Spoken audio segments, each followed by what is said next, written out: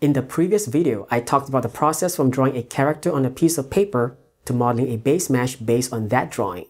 In this video, I will talk about the steps I took to sculpt the base mesh from this to this. Let's go. The first thing I do was to apply the remesh modifier to densify the base mesh so that we have enough polygon density to start sculpting.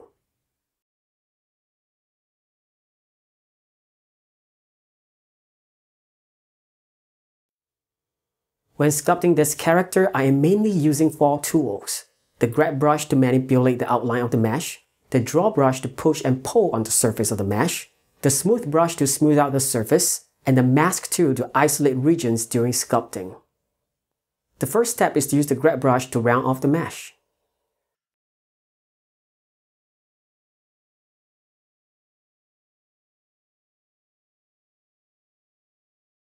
Mark out the lip line using the draw brush, and then by using a back and forth combination of the masking tool and the grab brush, shape the mouth into place. The masking tool was invaluable when shaping the lips because it allows you to shape the upper lip without accidentally also shaping the lower lip, and vice versa.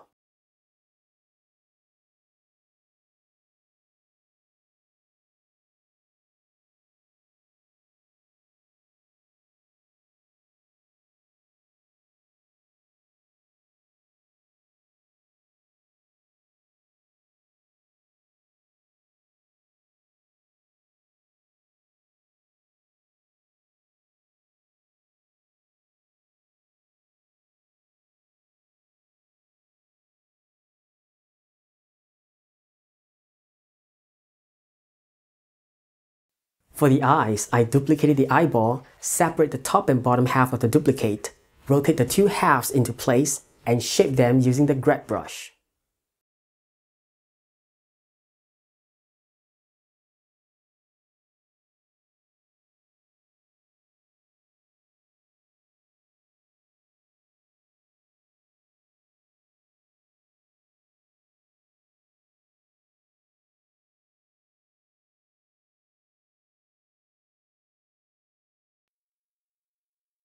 After closing the mitt around the eye sockets onto the eyelids, I proceed to boolean the face, the top and bottom eyelid together and remesh them as a single entity again, and continue to use the grab brush to round off more of the base mesh.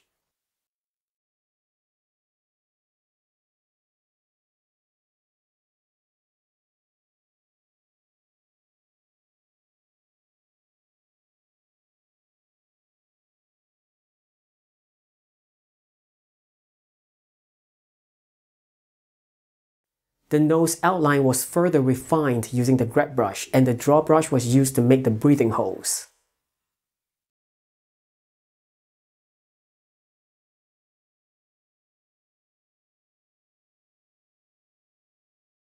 Extra love was spent on the eyes. I spent a lot of time on the eyes.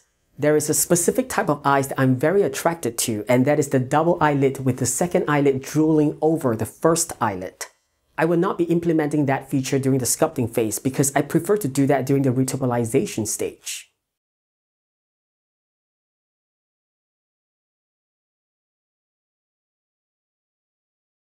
Final refinements using the grab brush and the shaping of the ear as the last phase of this sculpting process.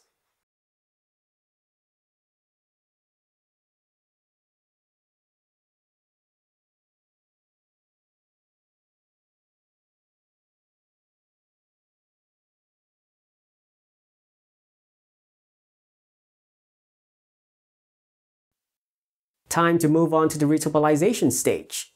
I start by painting how I want the polygons to flow directly on the mesh itself.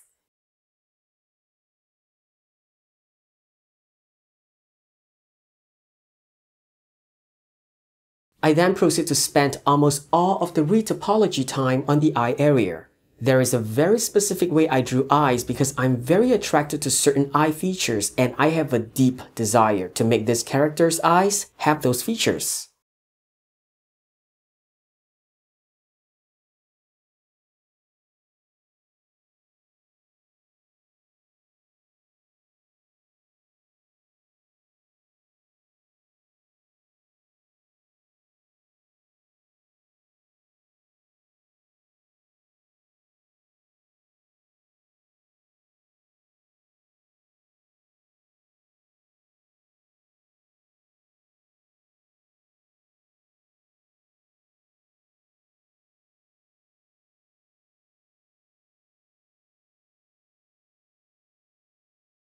Proceeding with retopolization of the rest of the head. I'll be leaving the neck out of the equation as I really just want to focus on the head here.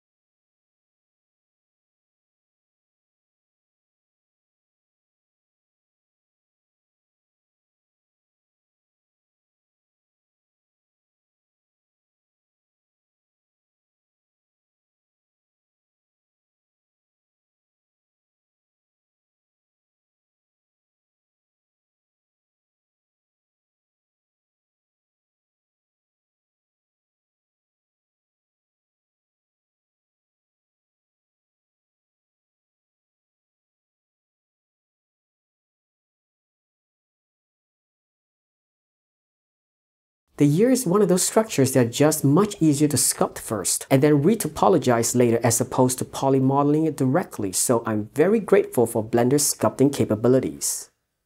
I also must confess that I don't usually retopologize ears from scratch like this often.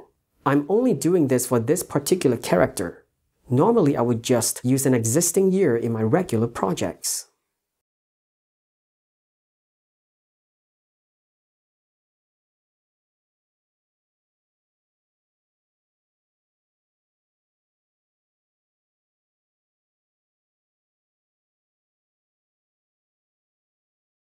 Now as a final touch, I will add in the tear shine that will catch highlights between the intersection of the eyeball and the lower eyelid.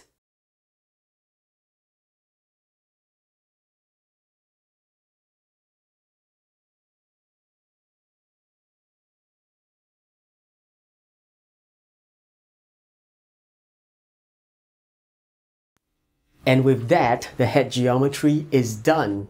In the coming videos, I may talk about how to model an entire body base mesh in Blender quickly and easily.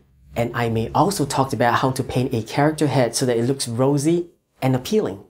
This is Bracer Jack and uh, I will see you next week.